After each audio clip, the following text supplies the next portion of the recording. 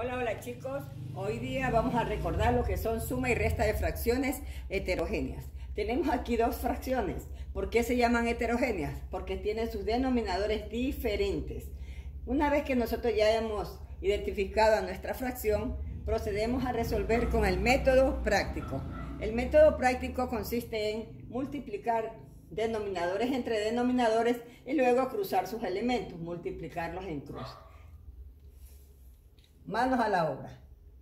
Bien, tenemos aquí los dos denominadores, 2 y 6. 2 por 6, 12.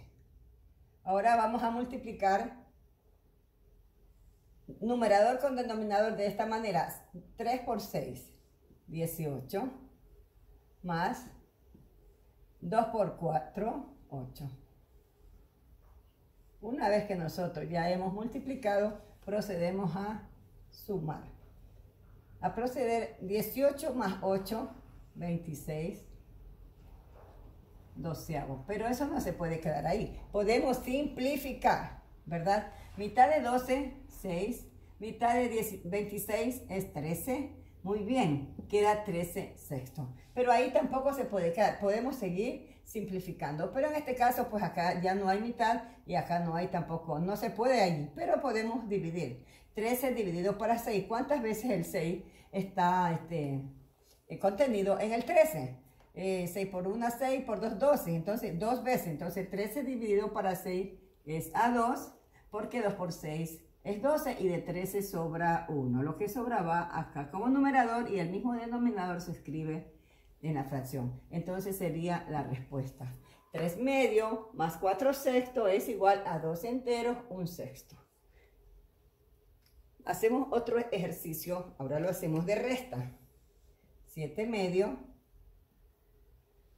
menos 4 quintos. Muy bien. Lo mismo procedemos. Primer paso. Multiplicar denominadores entre sí. 2 por 5 es 10. Ese viene a ser el denominador común de estas fracciones. Luego procedemos a multiplicar en cruz, ¿verdad? En cruz quiere decir 7 por 5 es 35 y 4 por 2 es 8. Pero como tenemos menos, vamos a restar. Menos 8 es igual. Entonces decimos 35 menos 8 nos da 27. 27 décimos. Allí no podemos tampoco simplificar, pero sí podemos dividir. ¿Cuántas veces el 10 está contenido dentro del 27? Está contenido dos veces. Muy bien. Dos veces, esto es igual. Línea de fracción, 2 por 10 es 20. Para llegar a 27 sobran 7, ese 7 que sobraba arriba como numerador y luego el 10 que es el mismo denominador de la fracción. Lo que quiere decir que 7 medio menos 4 quintos es igual a 2 enteros 7 décimos. Correcto chicos, ahora les voy a dejar una tarea de unas, de unas operaciones para que ustedes me resuelvan.